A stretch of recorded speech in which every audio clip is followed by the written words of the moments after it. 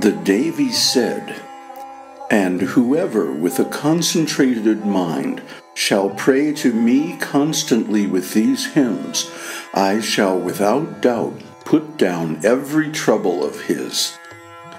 And those who shall laud the story of the destruction of Madhu and Kaitaba, the slaughter of Mahishasura, and the slaying of Shumba and Nishumba, likewise.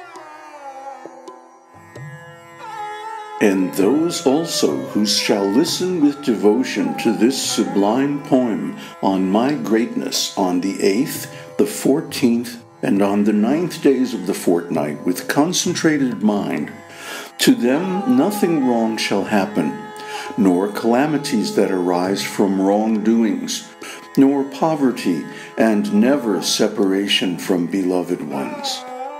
He shall not experience fear from enemies and nor from robbers and kings, nor from weapon, fire, or flood.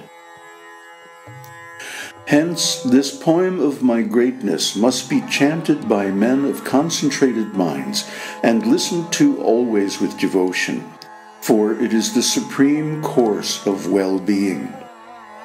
May this poem of my glories quell all epidemic calamities as also the threefold natural calamities. The place of my sanctuary, where this poem is duly chanted every day, I will never forsake, and there my presence is certain. When sacrifice is offered, during worship, in the fire ceremony, and at a great festival, all this poem on my acts must be chanted and heard. I will accept with love the sacrifice and worship that are made, and the fire offering that is offered likewise, whether they are done with due knowledge of sacrifice or not.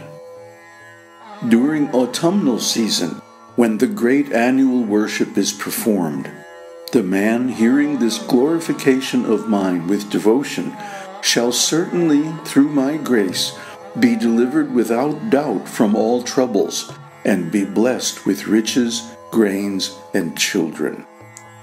Hearing this glorification and auspicious appearances of mine, and my feats of prowess in battles, a man becomes fearless.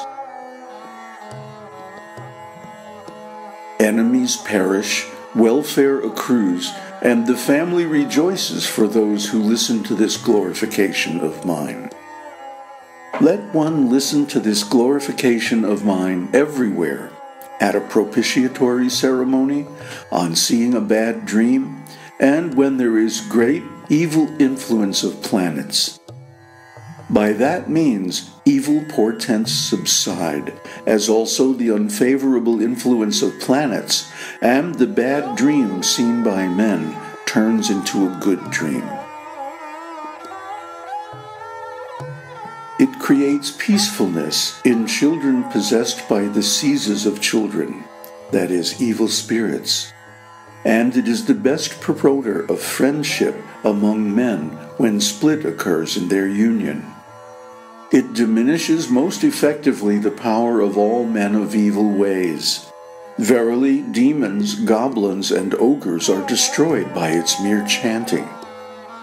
This entire glorification of mine draws a devotee very near to me, and by means of finest cattle, flowers, arghya, and incenses, and by perfumes and lamps, by feeding brahmanas, by oblations, by sprinkling consecrated water, and by various other offerings and gifts, if one worships day and night in a year, the gratification which is done to me is attained by listening but once to this holy story of mine. The chanting and hearing of the story of my manifestations remove sins and grant perfect health and protect one from evil spirits, And when my martial exploit in the form of the slaughter of the wicked Daityas is listened to, men will have no fear from enemies.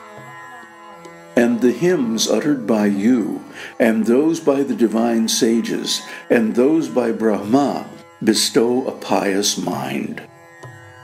He who is lost on a lonesome spot in a forest, or is surrounded by forest fire, or who is surrounded by robbers in a desolate spot, or who is captured by enemies, or who is pursued by a lion or tiger, or by wild elephants in a forest, or who, under the orders of a wrathful king, is sentenced to death, or has been imprisoned, or who is tossed about in his boat by a tempest in the vast sea, or who is in the most terrible battle under shower of weapons, or who is amidst all kinds of dreadful troubles, or who is afflicted with pain.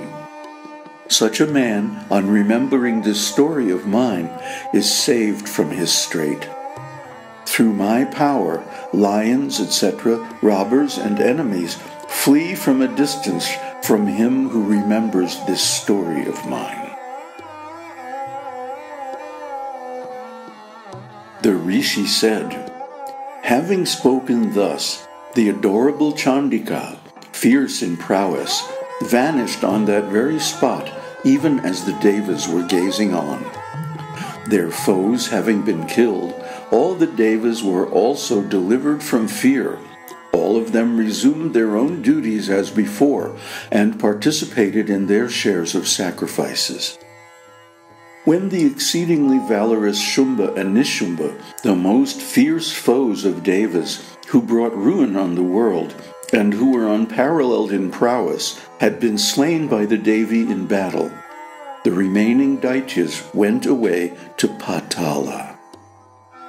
Thus, O king, the adorable Devi, although eternal, incarnating again and again, protects the world.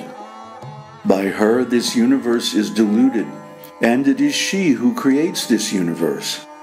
And when entreated, she bestows supreme knowledge, and when propitiated, she bestows prosperity. By her, the Mahakali, who takes the form of the great destroyer at the end of time, all this cosmic sphere is pervaded. She indeed takes the form of the great destroyer at the proper time. She, the unborn, indeed becomes this creation at the time proper for recreation. She herself, the eternal being, sustains the beings at another time. In times of prosperity, she indeed is Lakshmi, who bestows prosperity in the homes of men and in times of misfortune, she herself becomes the goddess of misfortune and brings about ruin. When praised and worshipped with flowers, incense, perfumes, etc., she bestows wealth and sons, and a mind bent on righteousness and prosperous life. Here ends the twelfth chapter called Eulogy of the Merits of Devi Mahatmya in the Markandeya Purana during the period of Savarni, the Manu.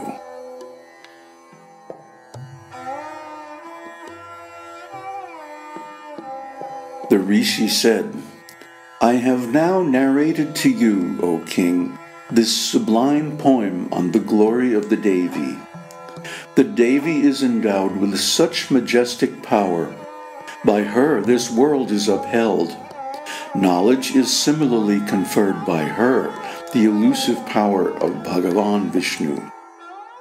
By her, you, this merchant, and other men of discrimination are being deluded, and others were deluded in the past and will be deluded in the future.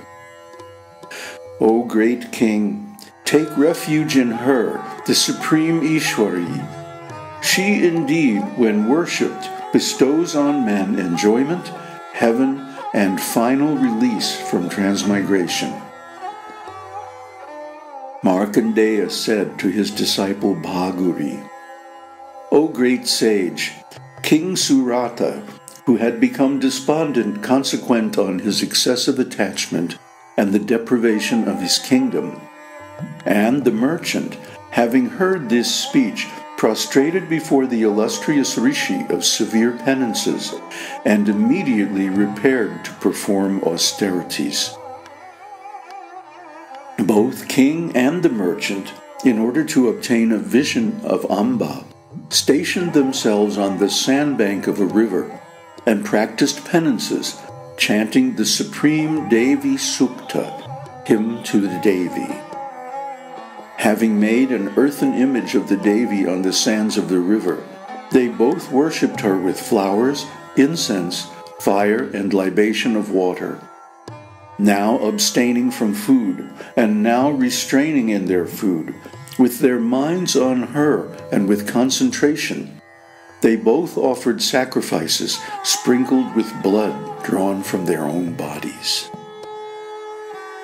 When they, with controlled minds, propitiated her thus for three years, Chandika, the upholder of the world, was well pleased and spoke to them in visible form. The Devi said, What you solicit, O king, and you, the delight of your family, receive all that from me. Well pleased, I bestow those to you both. Markandeya said, Then the king chose a kingdom, imperishable even in another life, and in this life itself, his own kingdom, wherein the power of his enemies is destroyed by force. Then the wise merchant also, whose mind was full of dispassion for the world, chose that knowledge which removes the attachment in the form of mine and I. The Devi said, O king, after slaying your foes in a few days, you shall obtain your own kingdom, and it shall last with you there. And when you are dead, you shall gain another birth from the Deva Vivasvat, sun, and shall be a Manu on earth by name Savarni. And, O best of merchants, I grant you the boon which you have desired of me. Supreme knowledge shall be yours for your self realization. Markandeya said, Having thus granted them both the boon that each desired, the Devi disappeared forthwith as they were extolling her with devotion.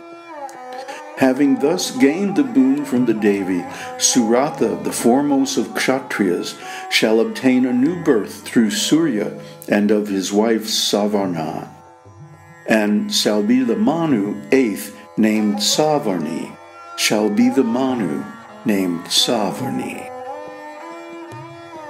Here ends the thirteenth chapter called The Bestowing of Boons to Suratha and Vaishya of Devi Mahatmya in Markandeya Purana during the period of Savarni, the Manu. Here ends the Devi Mahatmya of 700 mantras. Aum Tat Sat Aum